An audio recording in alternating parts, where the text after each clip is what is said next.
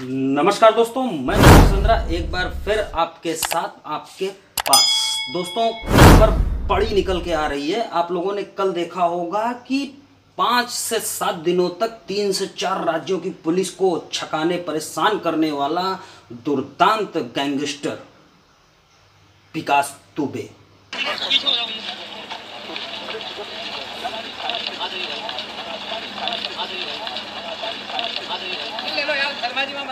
जी हाँ दुबे, विकास दुबे को बीती रात जो है, पुलिस ने इनकाउंटर में ढेर कर दिया है। खबर एकदम शत प्रतिशत सही है। घटना उस समय होती है दोस्तों, जब पुलिस इसको लेके मध्य प्रदेश से जो है वापस आ रही होती है, उत्तर प्रदेश के लिए। वहाँ पर जो है बताया जाता है कि ये गाड़ी से कूद के भागने की कोशिश करता है, जहाँ पुलिस द्वारा आत्मरक्षार्थ चलाई गई गोली में। ये अपराधी मारा जाता है। उम्मीद करता हूँ कि मेरी जानकारी आपको ज़रूर पसंद आई होगी। पसंद आई होगी दोस्तों तो सबको बताइएगा। जय हिंद, जय भारत, नमस्कार।